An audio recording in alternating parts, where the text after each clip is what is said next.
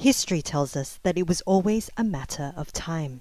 The threat of a deadly pandemic, an outbreak of infectious disease that rapidly crosses international borders. It was what kept scientists awake at night while the rest of us slept.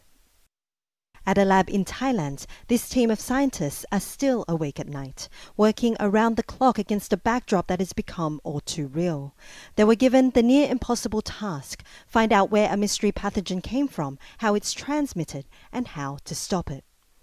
My research work are the finding the, the novel virus from wildlife, uh, mostly are in bat because bat is uh, a black box of the many viruses. So we try to find a novel one that might be the next threat to the human. Dr. Supaporn and her team of virus hunters have studied coronaviruses in the past. For years, their research took them deep into Thai caves to catch bats, less interested in the bats themselves than the viruses they might be carrying. She was the first in the country to study bat pathogens. She was the first in the country to diagnose a patient with the novel coronavirus even before the genetic sequence was released to the world. I double check uh, a lot of times to confirm it is uh, the new one. It's kind of the two days that I kind of um, worry. So this is the, the novel one or not. But I have to report to the Thai government that I found something from the patient that not related to the, the human. Since then, tens of thousands of samples have come through her lab. That amount is increasing exponentially. But their expertise means they've already managed to cut the waiting time for results down from almost two days to just a few hours.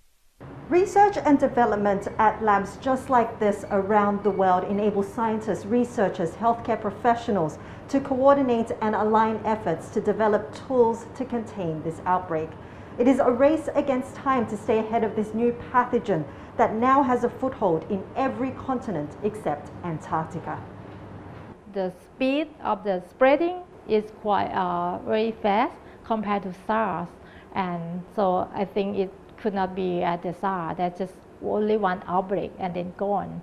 And then after we have the uh, vaccine, we have the herd immunity in the community, so we can uh, live with them more safely.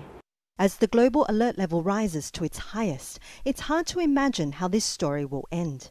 Good news is that research capabilities, technology, and real time clinical knowledge means the world has some weapons to wield. And this team of soldiers in Thailand are fighting their biggest war yet against an enemy that is virtually invisible. Dusita Sao Gao, CGTN, Bangkok, Thailand.